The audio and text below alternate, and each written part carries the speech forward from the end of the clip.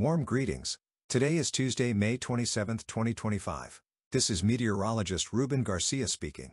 In today's video, I'd like to talk about the updated forecast for a low-pressure system that has been designated as Invest 90 and is currently located to the south and southwest of Mexico. It has nearly a 100% chance of cyclonic development over the next 48 hours. And although it is currently expected to dissipate before posing a direct threat to Mexico, it is still important for residents of Colima, Nayarit, Jalisco, Sinaloa, and Baja California Sur to monitor its evolution in case of unexpected changes. If we switch the satellite animation to visible satellite imagery, you can see that this afternoon Invest 90 appears much more organized with good vorticity. However, the National Hurricane Center has noted that it still does not have a closed surface level circulation, which is why it has not yet been classified as a tropical cyclone.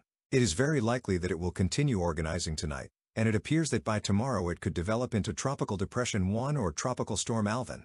You can also see some instability affecting parts of southern Mexico, which is associated with some outer bands. However, the area of heaviest rainfall remains south of Mexico. In the latest tropical outlook from the National Hurricane Center, they give it nearly a 100% chance of developing into a tropical depression within the next 48 hours. Now we will analyze its future trajectory and how its intensity may fluctuate. Overall, Note that the specialized track models show good agreement that it will maintain a west-northwest motion over the next 48 hours.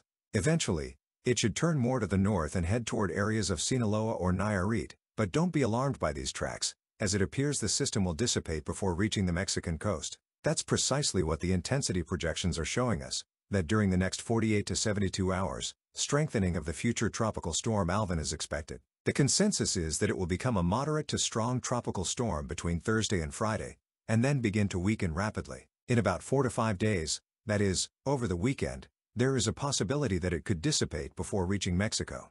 Although it's less likely, we still can't completely rule out the chance that it strengthens into a Category 1 hurricane. But that intensification would need to occur while it remains well offshore from the Mexican coast. It's important that we stay alert and monitor its movement, because if there's any shift eastward or rightward in its track, that could influence its intensity if it gets closer to Mexico. However, that scenario is currently very unlikely, and the highest probability is that it will remain a tropical cyclone over the open waters of the Pacific. As of today, projections suggest it will dissipate before reaching the coast of Jalisco or Nayarit. Now I'd like to briefly explain why it's expected to strengthen rather quickly over the next 48 to 72 hours. First, take a look at this image showing upper-level winds in the atmosphere where we can clearly see that an anticyclone has established itself near or over the system's center of circulation. This allows for good outflow at upper levels, which in turn creates favorable conditions for intensification. In fact, this is the main reason why the system is currently undergoing rapid organization and why it is expected to strengthen into a tropical cyclone. On the other hand, also remember that ocean surface temperatures to the south of Mexico, and over the areas this future cyclone is expected to pass, are about 1 to 2 degrees Celsius above normal. This oceanic heat supports its strengthening. But it's important to discuss the following. If we use 110 degrees west longitude as a reference point, you'll see that west of that line, ocean temperatures are significantly cooler than normal, while to the east, the waters are much warmer. Why is this important?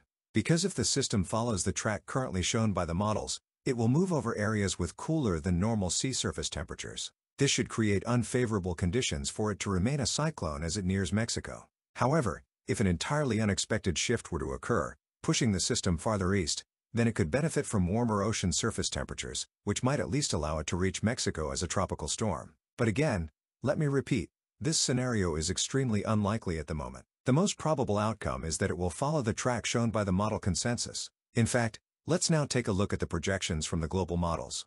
Let's start with the American model. Notice that by tomorrow afternoon, Wednesday, it already shows a tropical storm, or Tropical Storm Alvin, maintaining a northwestward track and eventually turning more to the east and rightward toward parts of Jalisco, perhaps arriving as a weak tropical storm or a dissipated system. The key point from the American model is that it's one of the rightmost tracks, which is why it shows a weakened circulation that could bring some tropical depression strength wind gusts. On the other hand, the other models show a different scenario. For example, here we have the European model projection. It initially tracks the system northwestward and shows it strengthening into a moderate to strong tropical storm between Friday and Saturday. Then, as it moves over cooler ocean waters, you can see how it essentially dissipates between Sunday and Monday without directly impacting any Mexican states. The German model also aligns with this projection. It develops tropical storm Alvin but keeps it on a more westward or northwestward trajectory, eventually dissipating as it nears Jalisco. And just like the European model, this model also shows it dissipating before reaching land. Confidence in the forecast that the system will dissipate before reaching Mexico increases when we analyze the ensemble members of the American model, where nearly all of them, with the exception of only two, indicate that the future tropical storm Alvin will dissipate before making landfall in Mexico. Also, take a look at the ensemble members of the European model. All of them show this disturbance dissipating over the weekend, with no chance of moving into Baja California Sur or Jalisco as a tropical cyclone. That's why, for now, we remain confident that although the system will likely develop into a tropical cyclone, it appears it will move along a path that is unfavorable for strengthening. But that will be during the weekend, just in time for it to dissipate before reaching Mexico. So for the moment, there's no need to worry. If any major changes occur in the forecast, I'll be here to keep you informed. I would like to talk about some of the effects this system could bring to certain states such as Colima, Jalisco, Nayarit, and Baja California Sur. Starting with rainfall totals, for example, the American model projects that between 75 to 100 millimeters, about 3 to 4 inches, of rain could fall in areas between Nayarit, Colima, and Jalisco. But keep in mind that the American model is the one showing the farthest eastward track. Meanwhile, the other models, including the European model, with a more westward track, keep the heaviest precipitation over Pacific waters, leaving limited chances of rain for areas such as Sinaloa, Baja California, Sur, Nayarit, Jalisco, and Colima. At the moment, tropical storm force winds are not expected. However, in the worst-case scenario shown by the American model with the more rightward trajectory, some tropical depression strength wind gusts could affect the coast between Sinaloa and Nayarit. Still, this shouldn't cause major issues, as it would mostly mean a breezy day, and that's only if the less likely track shown by the American model actually happens.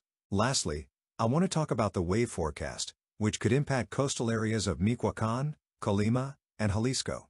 For Michoacán, between Friday and Saturday, some wave heights could reach up to 3 to 5 meters, 10 to 16 feet. A bit farther northwest, along the coasts of Colima and Jalisco, maximum wave heights could reach between 5 to 6 meters, 16 to 20 feet, from Friday through Saturday. So please exercise caution if you plan to visit the beaches in the coming days, especially between Friday and Saturday. Well, that's all for this forecast update on the future tropical storm Alvin. We'll continue monitoring the system closely and we'll keep you updated if any important changes in the forecast occur. To make sure you don't miss any of these videos, I invite you to give this video a like. Also, don't forget to click the red subscribe button and the bell so you get notifications whenever I post a new video.